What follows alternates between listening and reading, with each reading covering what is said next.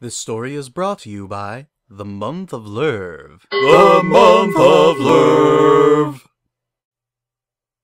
Part 2 Throughout spring, Ponyville had become a hub of hustle and bustle for out-of-towners on their way to or from Canterlot.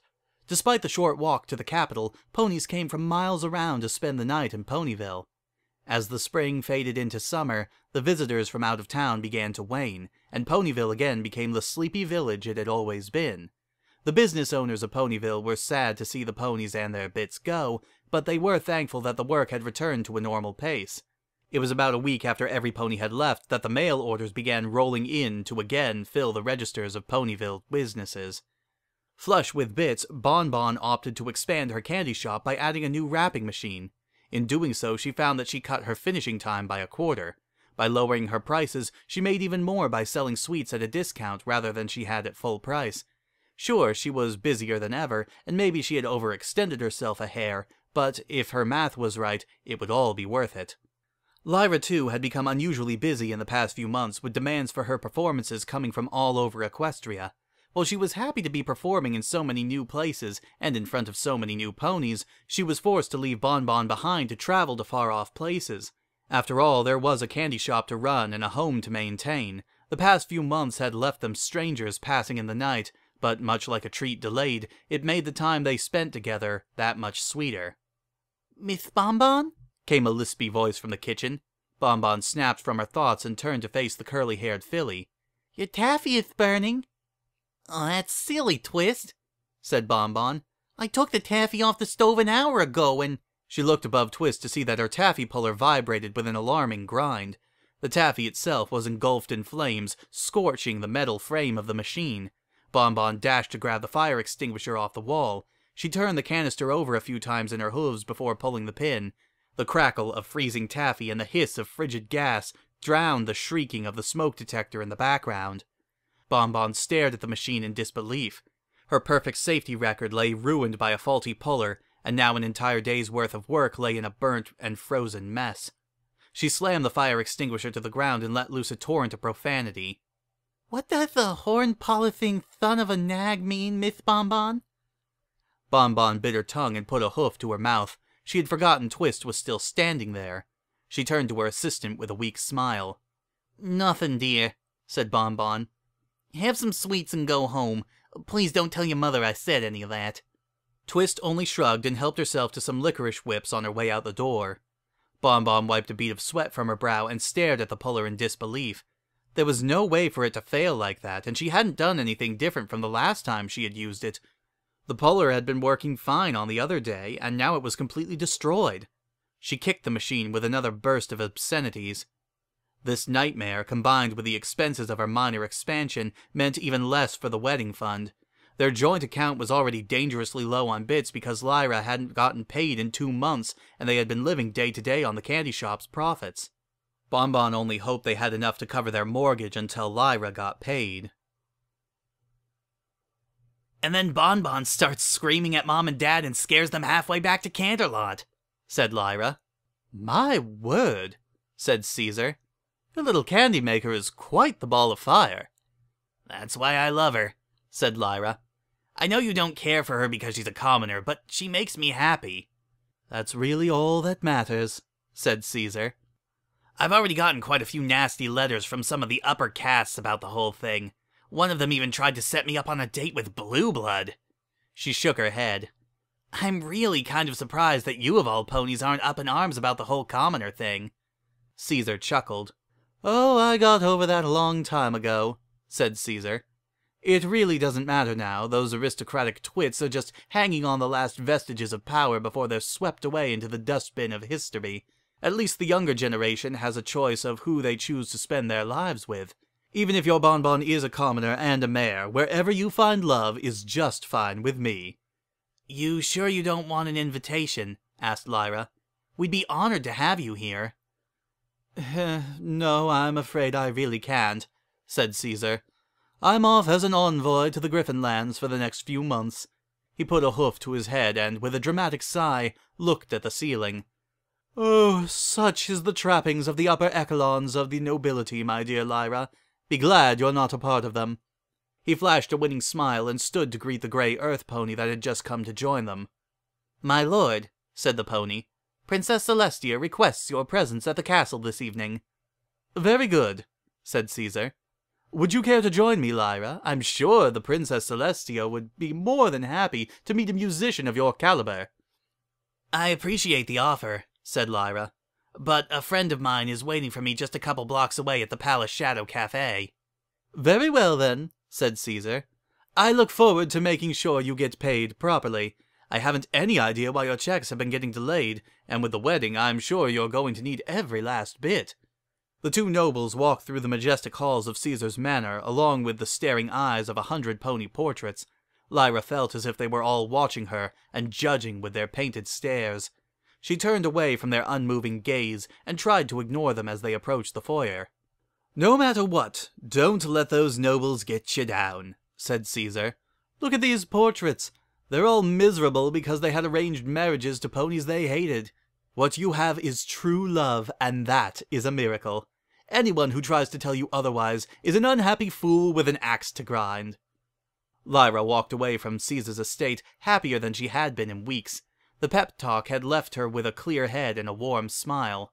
Of all the ponies she could have asked for advice in dealing with nobility, Caesar was the one she knew would give her the straightest answers. After a short walk, Lyra came to a small cafe along the streets of Canterlot. Soups and sandwiches floated in the air as unicorns snacked on their midday meals. A gray earth pony sat near the kitchen, trying to grab the attention of any waiter to no avail. They simply walked by her, their platters of sandwiches floating on trays before them. Lyra trotted over to the pony and stood at her table. Hi, Tabby. Oh, thanks, Celestia, you're here, said Octavia. I've been waiting for half an hour, and I haven't even seen a waiter so much as slow down. She shook a hoof at a passing waiter. I've got money too, you jerks! My bits spend the same as any pony else's. You just don't know how to flag someone down in this joint, said Lyra. Allow me. Lyra stuck her hoof out from beneath the table to catch the leg of a passing waiter. The waiter flailed, trying to keep his balance, the tray wobbled in the air and clattered to the mayor's table. Octavia raised a brow at Lyra, who had already started eating. What?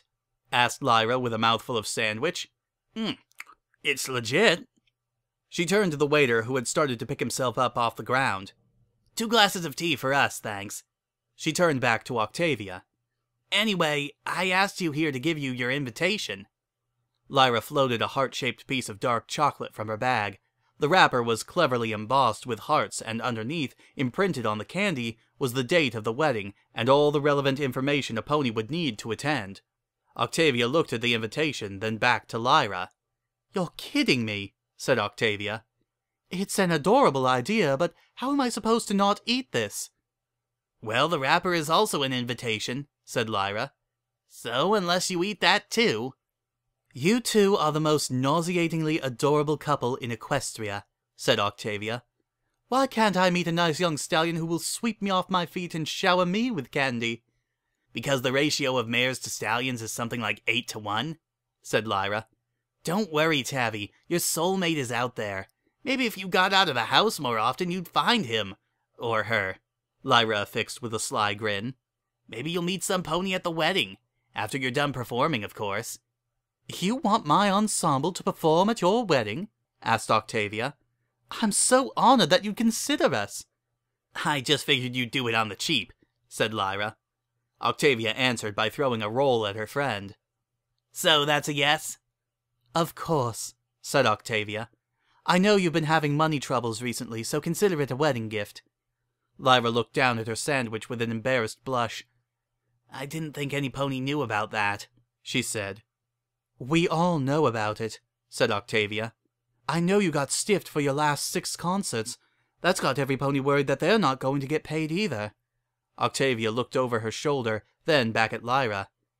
If you need money... I can't borrow anything from you, said Lyra. That's the fastest way to lose a friend. Forever! shouted Pinkie Pie. Lyra nearly flipped backward over her cushion at the sudden appearance of her wedding planner. She sat wheezing on the floor as Pinkie's thousand-watt smile beamed down upon her like a spotlight of maniacal hope. Where did you come from? asked Octavia. Well, when a mommy pony and a daddy pony love each other very much, Pinkie started. Octavia only sighed and helped Lyra back to her feet.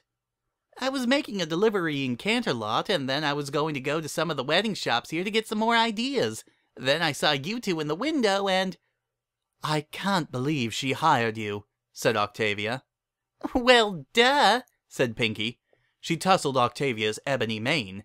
I'm the best at parties. Why wouldn't she hire me? You could start by not scaring the living daylights out of me, muttered Lyra. I was getting ready to head back to Ponyville. Would you care to walk with me? Oh, that sounds like super fun, said Pinkie. I can tell you all the great ideas I've been having for your wedding. You should invite more people. Why not every pony here? She stood on the back hooves and bellowed to the restaurant, Hey, every pony who wants to come to a wedding! Lyra grabbed Pinkie by the scruff of her neck and forced her onto a nearby cushion. Pinkie opened her mouth to protest, but was met with a hoofful of bread. Despite the mouthful of bread, she continued to try to expound on the virtues of attending the biggest wedding in Ponyville history. I'm sure all these classy ponies wouldn't want anything to do with a little old Ponyville wedding, said Lyra. So let's not bother them and head home instead, shall we? The message seemed to dawn on Pinkie Pie as the crowd stared at the two ponies. She nodded and swallowed her bread. I'll see you later, Tavy, said Lyra. Say goodbye, Pinkie Pie. Goodbye, Pinkie Pie. That's funny, said Pokey. The reservations that had arrived in the mail earlier that day floated to the schedule book he kept on the back wall. Pokey scanned between the two. He grumbled a bit and tossed the paper to the side. A knock on the door distracted him from the book. The door opened to reveal Carrot Top, all smiles and curls, wheeling a crate full of carrots. Pokey floated the reservation up to her face. Does this say what I think it does? asked Pokey. Carrot Top looked at the slips for a moment, then over them at Pokey. You really should learn to read better one of these days, said Carrot Top. But it appears that you've overbooked yourself for the third weekend in August. According to these reservations, you've got six catering contracts for that day, not including Lyra's wedding. Look at the numbers, said Pokey. They're offering me triple what I normally charge. The reservation floated back down to the scheduling book. I'd be stomping my own hoof if I turned down one of these for Lyra's wedding, and it's not as if she actually booked me for that day. I mean, she hasn't put a deposit down, and she did say she might have to make payments. He looked over his books again. Carrot Top, what should I do? Seriously? asked Carrot Top. You can't be considering canceling on the wedding. Think of how disappointed Lyra will be if her favorite chef isn't there, with all their favorite dishes. Think about how disappointed she'll be if you're not there to see her and Bonbon get married. There's no way you should let a little thing like money get in the way of friendship. Pokey hoofed at the ground with a guilty cough. Well, that's just it, said Pokey. I kind of need the money. Not her again, groaned Carrot Top. You've got to stop loaning Trixie money. I know she's your sister and all, but she never pays you back. Heck, even when she was in town a couple weeks ago, what did she do? She ate at your restaurant, she parked her wagon on your lawn, and then she left the remains of it for you to clean up. Carrot Top hefted the crate of carrots to her back and came inside. Look, I've got a deadbeat uncle who does the same thing breezes into town, eats all my food, and leaves a mess for me to clean up. I mean, Derpy does that already, it's not like she needs the help. She threw open the walk-in refrigerator to find a gray Pegasus standing behind the door. With a shriek, the crate crashed from Carrot Top's back, spilling carrots all over the floor. Carrot Top pinned herself to the wall, clutching her chest. Derpy's saddlebags overflowed with vegetables and sauce containers. She pointed to the empty shelving. I emptied your fridge, she said. Why in the name of Equestria is Derpy in your refrigerator? demanded Carrot Top. She's delivering leftovers to the school, said Pokey. Thanks, Derpy. Be sure to take some muffins for yourself and Dinky. The carrots floated from the floor to the sink, and with a wave of Pokey's horn. Look, Trixie is family, continued Pokey, and where I come from, you don't abandon your family. Carrot Top only moaned in aggravation. Talking to you is like pounding your head into a wall, said Carrot Top. You are the most bull-headed stallion I've ever met. You never give up on anything, even if it's a lost cause. Your sister, your job, your various failed relationships. Did you need something, or are you going to just berate me for my life choices? asked Pokey. Carrot Top paused a moment. Actually, there was something else, said Carrot Top. Pinkie wanted us all to meet this evening around 11 to discuss plans for the wedding. Something about reservations. Berry will bring the wine if you'll be so kind as to bring the snacks. Got it, said Pokey. Anything else? Carrot looked around a moment. She started to say something but stopped herself. She shook her head and held a hoof to her lips. I'll tell you later, she mumbled. Remember, 11 o'clock, Sugar Cube Corner. As Carrot Top's cart rolled away from the Balloon Cafe, she paused to glance inside the majesty that was Carousel Boutique. Inside, Rarity hummed to herself, while Sweetie Belle scribbled something on a scroll. Surrounding the sisters was a pile of orders and finished garments that had poured in over the past few weeks. The last of the dresses floated into its box. And done, said Rarity. A handkerchief floated to dab a drop of glistening sweat from her brow. Are you finished with those numbers, Sweetie Belle? Almost, said Sweetie Belle. She tapped a pencil against her chin for a moment before turning back to her sister. I give up. What's a four-letter word for a baby horse? The handkerchief fell to the ground and Rarity looked down at the scroll her little sister was writing on. The crossword puzzle was mostly filled in, though most of the simpler words had been left blank. Rarity simply shook her head and trotted to her register. Never mind, then, said Rarity. She looked over a few receipts as they floated from the register. That was the last of the paid orders. Now I can get started on the unpaid ones. Now, if I could just find Lyra's order. Oh, Miss Bonbon stopped by earlier today and asked if she could have some more time to pay for their dresses, said Sweetie Belle. She said something about a taffy puller and she was covered in soot. Rarity stared at her sister for a moment, trying to decide whether or not to believe her. I'm going to run down to Bonbon's, she said after a moment. Look after any customers for me, would you? Sweetie Belle only nodded as she continued her crossword. The sun beat down upon the streets of Ponyville, bringing with it the familiar warmth of summer and a glisten to Rarity's mane. She walked through the city's center and towards the candy shop. Bonbon wasn't known for being tardy with payments, and although she rarely purchased anything from Carousel Boutique, her good credit had been widely accepted all over town. Rarity rounded the alley to find Bonbon dragging a scorched piece of machinery from her kitchen. The machine flipped end over end into the alleyway just ahead of Rarity's hooves. Bonbon dented the machine's cover with a swift kick before unleashing a verbal tirade that left Rarity's jaw slack in horror. Bonbon reared back to kick the machine again when she noticed Rarity standing there in shock. Bonbon dropped back to her hooves. Oh, didn't see you there, said Bonbon with a weak smile. Um, wonderful afternoon we're having, isn't it? Rarity's eyes glanced at the battered machine, then back to Bonbon. Can I get you something? Peppermint stick? Lemon drop? I'm afraid fresh taffy is out of the question because of this. She kicked the machine again. Fucking thing's broken. Rarity took a step back from the mare. Bonbon was known for her sweet nature but relatively short fuse, and it appeared that whatever that thing was that she was kicking had set her off.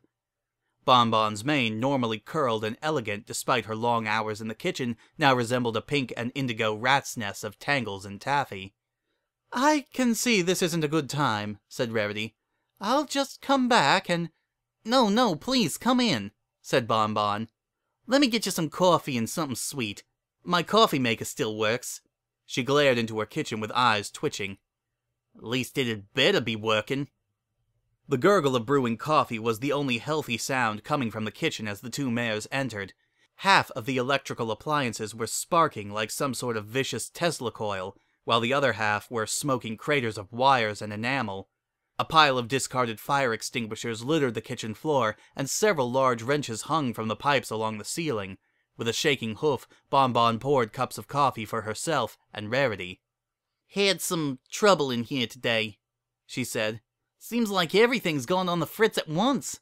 She giggled with a sort of nervous laughter as she spooned sugar into her mug.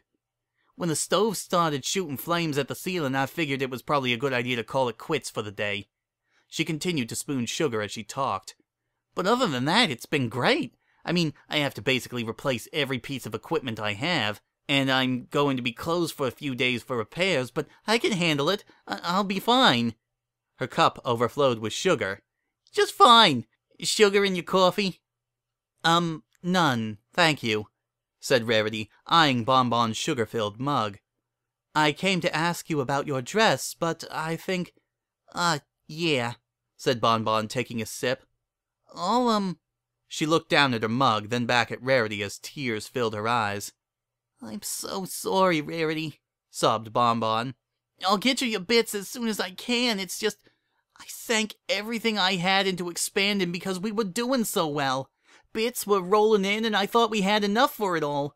But Lyra hasn't gotten paid in months despite all the shows she's been putting on, and to top it off, all my new equipment has been breaking down on me, and. Her face froze in horror as the realization dawned on her. Oh, goddess, what if I can't afford to book the preacher? Rarity, I can't afford to get married. What am I gonna do? Bon Bon, calm yourself, said Rarity. I'm sure that it's not that bad. Even if you can't afford the trappings of a Pinkie planned party, you can still get married in the park by the mayor. That's just it, wailed Bon Bon. The park is booked solid for the next three months. Every chapel within a hundred miles is full up for weeks. A wonderful mayor got called away to Canterlot, and no one has seen her in a week. I can't even find a real priest to marry us.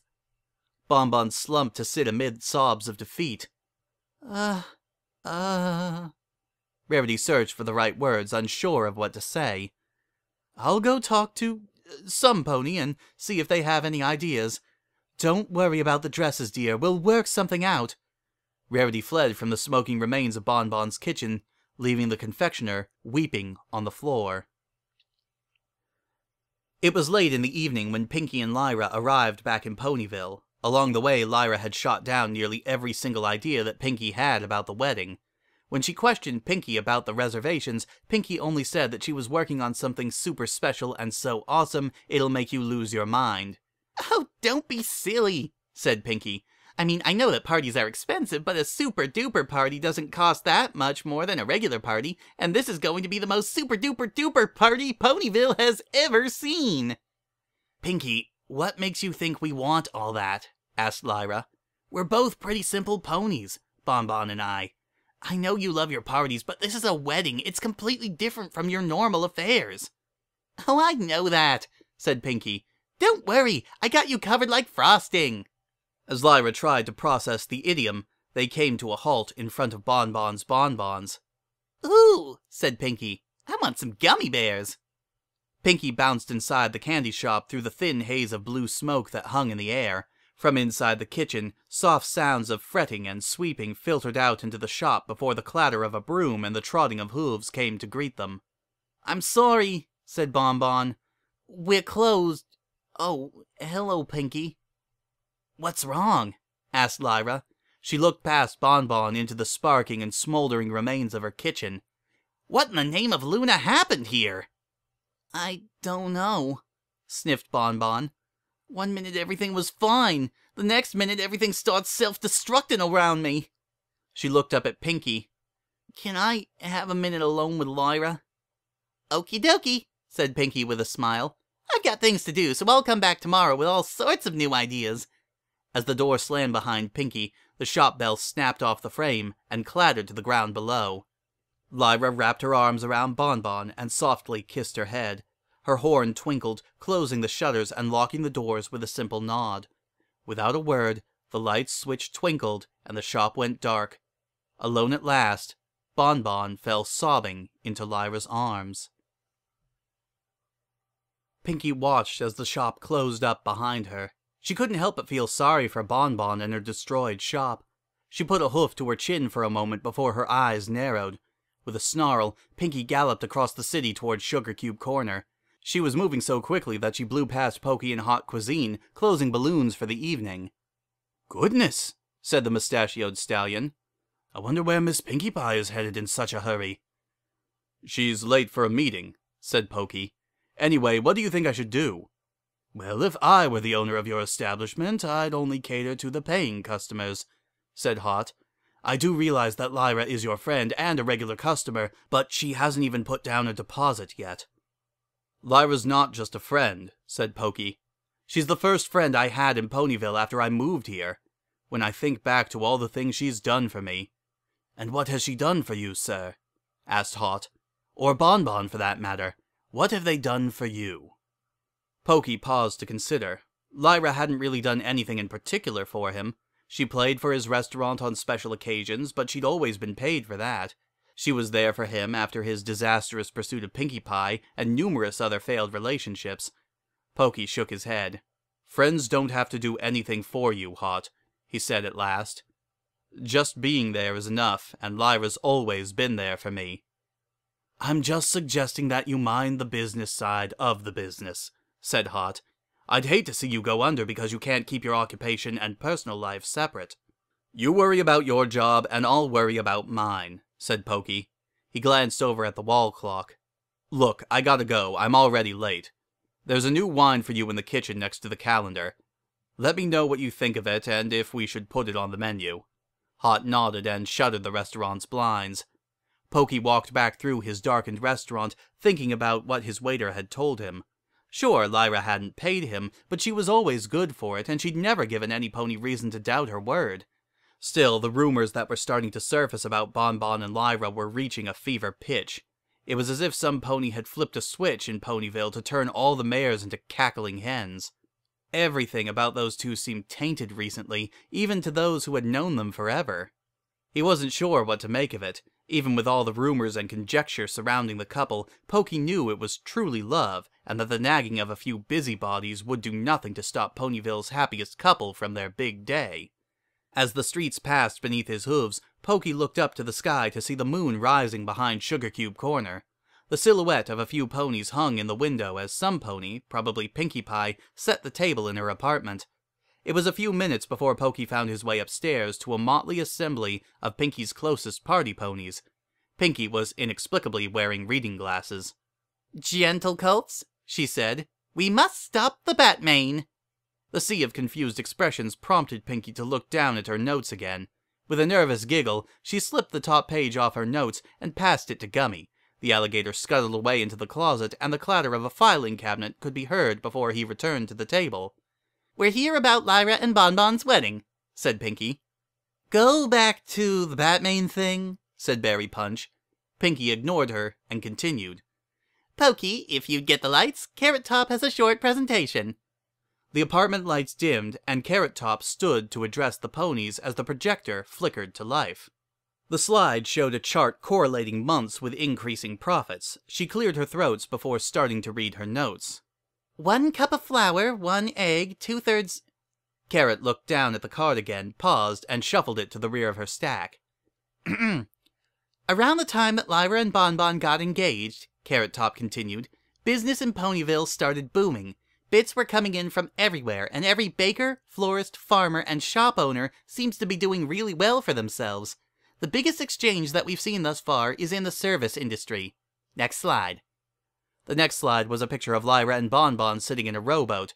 Lyra was serenading Bon Bon with her lyre, and the two floated on the lake beneath the sun. Lyra, as we all know, is nobility, and her engagement to a commoner has provoked ire among the nobles. The projector shuddered again to reveal a diagram of Equestria's political system. The nobility, while not having any real power anymore, still control a great deal of Equestria's wealth. They come from old money, and they use that money as influence in events all over Equestria. Carrot Top turned away from the slide to face the assembled ponies. Rarity, if you will. As I'm sure Pokey will tell you, Rarity said, business for all of us has been absolutely astounding. Ponies from all over Equestria have been coming to our little town to do business with us. I only wish I could say it was our style and class that brought them here, but unfortunately, I have reason to suspect it is something else entirely. The projector shuddered again to reveal a picture of Pokey laying on a bed of petals with a rose clenched in his teeth. It shuddered again to reveal another chart. Whoa, wait, said Berry. Go back one, that was more interesting. Where the hell did you get that picture? demanded Pokey. Remember who your friends are, ponies, said Carrot Top. And keep in mind that sometimes what seems like a blessing can actually be a curse. It's really convenient that the whole town's been booming for the past couple of months. Everyone's paying full price, and it seems like a lot of goods are headed out of town. I suspect that the nobility is trying to get us to forget about our friends with the promise of money.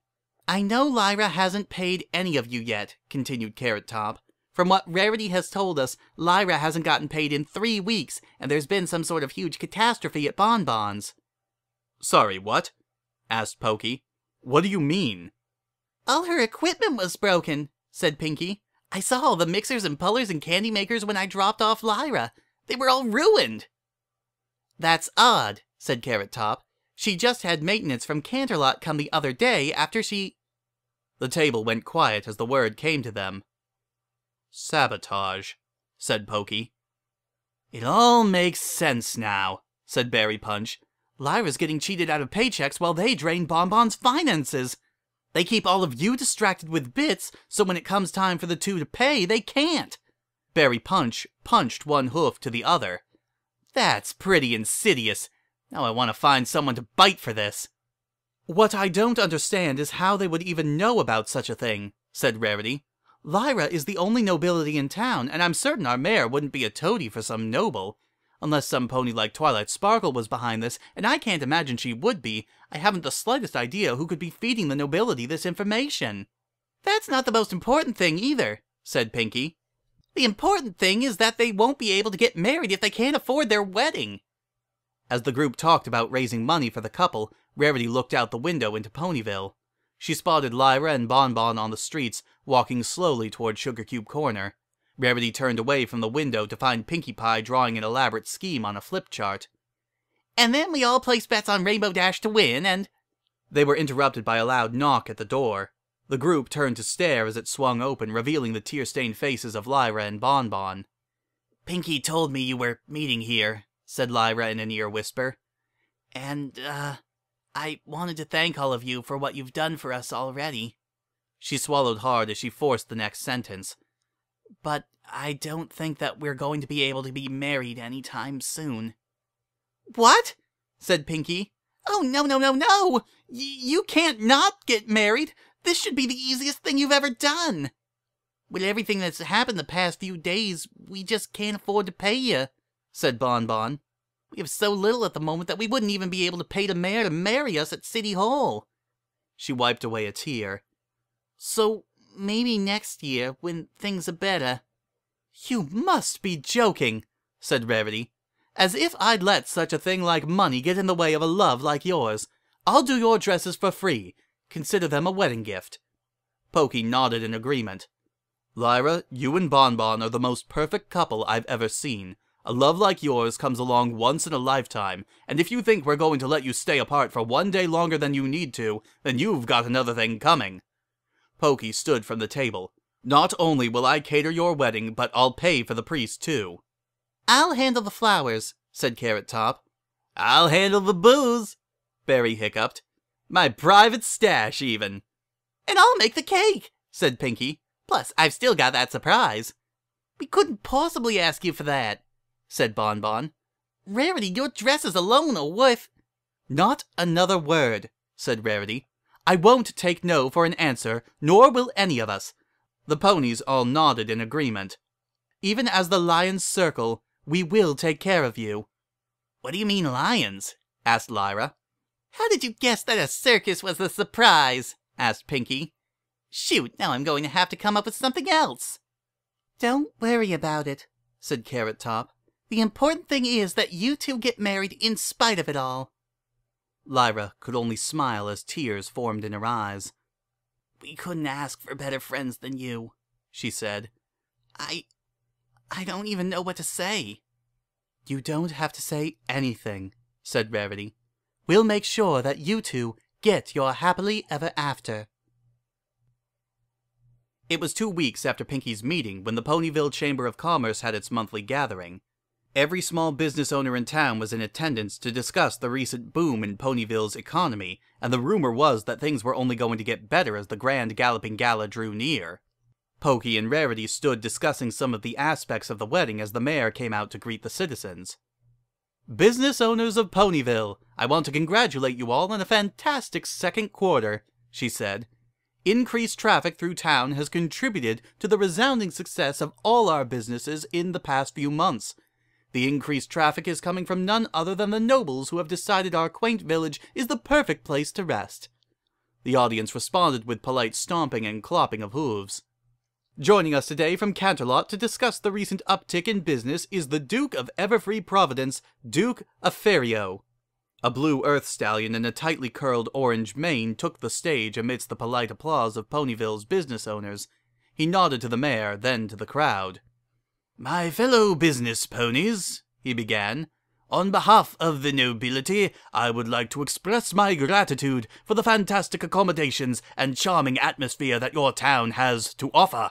Because of your delightful boutiques and quaint restaurants, Ponyville has earned a place in the hearts of the nobility as somewhere they can go to be pampered and appreciated for their hard work. He paused to allow for more polite stomping and clopping of hooves. However, I must caution you that the nobility tends to be fickle in their favors. While we enjoy the pleasantries of your city, we must caution you that any business that provokes one noble will inevitably find themselves being blacklisted by the rest. A murmur of confusion ran through the crowd as the ponies tried to figure out what he was hinting at. Now, I'm sure that won't happen to any of your fine establishments so long as you remember that the nobility has its own traditions and formalities to uphold. Our long line of heritage exists as an example of good grace and respectability to the common pony everywhere, I, for one, am glad that Ponyville has become such a wonderful place to spend my time and bits. I look forward to telling every noble to come here and enjoy all that your wonderful city has to offer. Despite the confusion, the pony stomped and clopped politely as Duke Afario left the stage. Did he mean what I think he did? asked Pokey. Yes, I heard it too, said Rarity. Any business that caters to Lyra and Bon Bon's wedding is going to be boycotted by the nobility. To be continued.